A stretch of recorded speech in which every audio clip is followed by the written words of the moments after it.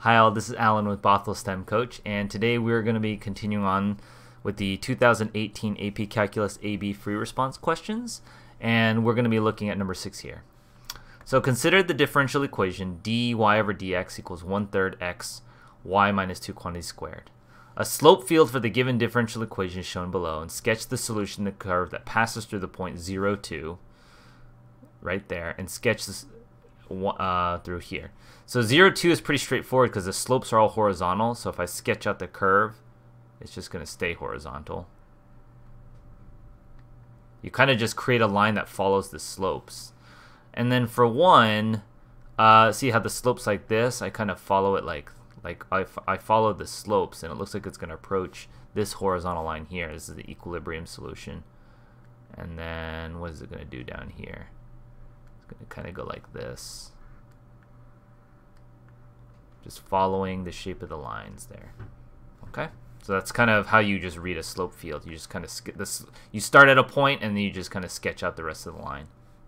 Let y equals f of x be the particular solution to the given differential equation with initial equation. So um, write an equation for the line tangent to the graph at x equals 1 and use your equation to approximate. Okay, so let's let's take a step one at a time uh, write an equation for the line tangent to y equals f of x. So I, I need to know the slope.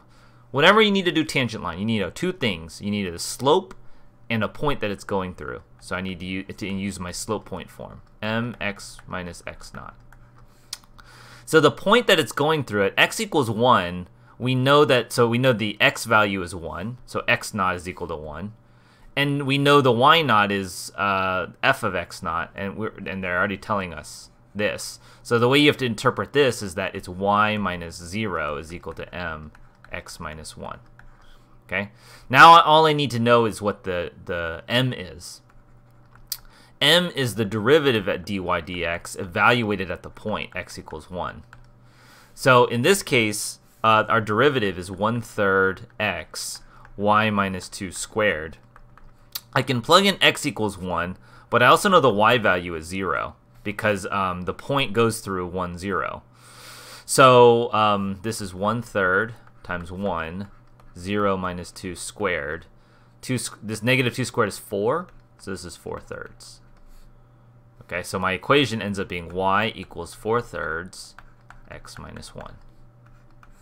Okay, now use that equation to approximate f of 0.7.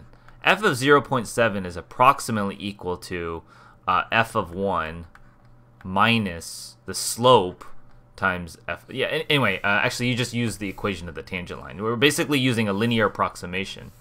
So what I would say is f of 0.7 is just plugging in 0.7 into here. So it's 4 thirds, 0.7 minus 1. What's that? Um, that's that's 4 thirds times minus 0.3 so what is that? That's minus, um, uh, this cancels to be 10, so minus 0.4. Okay. And now let's find the particular solution to this differential equation.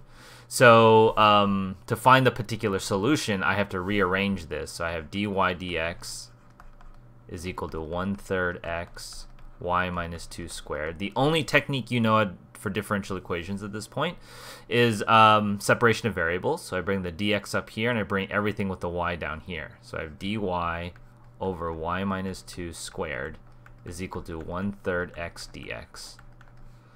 Then I integrate both sides. The right side's pretty easy. It's 1 third um, x squared over 2 plus c and this side, if you do the if you did a u substitution for y minus, this is really uh, y minus two to the negative two. And so when I do sort of the power rule, um, that becomes I add one, so it becomes y minus two to the negative one divided by negative one, or that's one over y minus two. So this side becomes one over y minus two. Okay, is equal to that. Um, so then we need to solve for um, let's find let's first plug in and find the constant. Uh, you can do that at this point. If I know that f of 1 is 0, then that means I know y is equal to 0 when x is equal to 1. So this becomes negative 1 over 2, or 1 over negative 2. is 1 sixth, um, because uh, 1 third times 1 half is 6, 1 squared plus c. And so this is uh, 1 sixth plus c. So then c would have to equal uh, negative 1 half minus 1 sixth. And that's equal to, um, what's a 3 sixths minus 4 sixths, which is equal to minus 2 thirds. Yeah, minus 2 thirds. So I have 1 over y minus 2 is equal to 1 third, uh, oh, sorry, 1 sixth x squared minus 2 thirds. So um, I might multiply through by both sides of the equation by 6 to just get rid of all the fractions. So I have 6 over y minus 2 is equal to x squared minus uh, 4 and then I can cross multiply, kind of bring the y over 2 up, and then bring this. So it's 6 over x squared minus 4 is equal to y minus 2, or y is equal to 6 over x squared minus 4 plus 2. All right, let's see how we did compared to the solutions. Um, this looks right. Uh, 4 thirds and minus 0.4 and then 2 minus 6 over x squared plus 2. Ooh.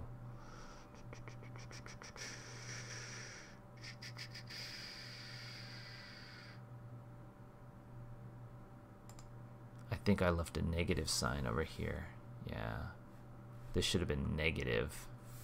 That's where I made a mistake. I made a slight mistake on the sign here. So this should have been positive 1 half. And so positive 1 half minus 1 6 would have been 2 sixths. Positive 2 sixths. That should have made that, sorry, I should be doing my corrections in red. That should have made this 1 third. And if I made that 1 third, this would have been 1 third and plus 1 third. And then it's always good to just, you know, make sure you, uh, so this would have been plus 2. And so this should have been plus 2. I think that's where I made the mistake. Yeah, 2 minus 6 over x squared plus 2. 2 minus 6 over x squared uh, plus 2. Yep. Oh. Uh,